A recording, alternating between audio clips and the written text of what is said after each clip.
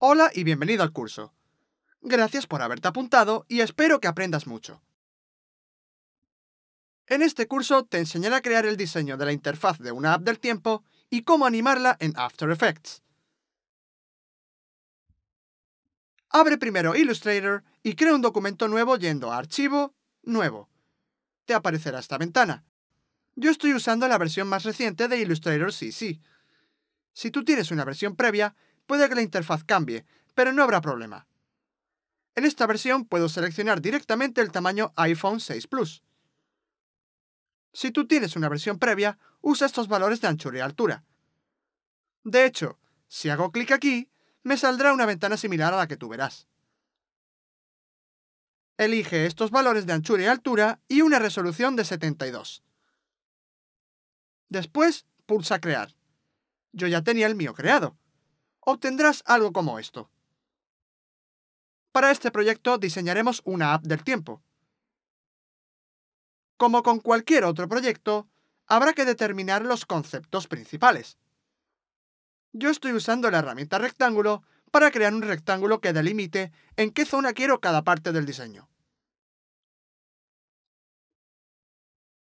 Por ejemplo, en la mitad superior me gustaría tener el cielo o una ilustración de la ciudad que quiero en mi app.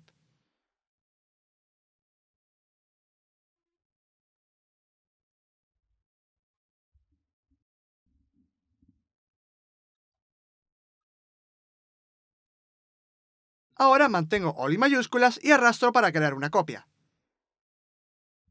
La colocaré aquí. Luego creo otra copia más y la coloco debajo.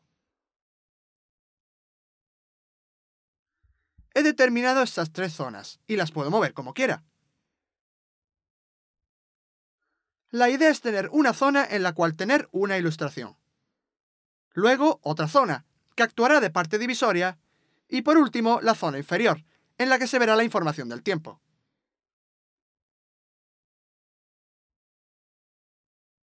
He eliminado el trazo y voy a ir a Ventana, Degradado.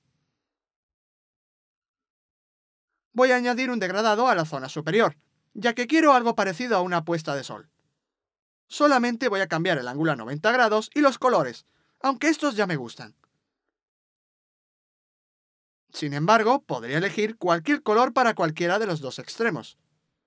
Luego solo tendría que mover los reguladores hasta obtener el degradado que busco. Como ves, estoy moviendo este regulador de arriba. De esta manera, puedo dar prioridad al naranja o al amarillo.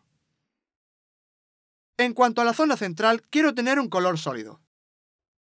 Algo como esto la zona inferior se quedará en blanco, pues ahí irá la información del tiempo. En la siguiente lección empezaremos a trabajar en el diseño. ¡Nos vemos!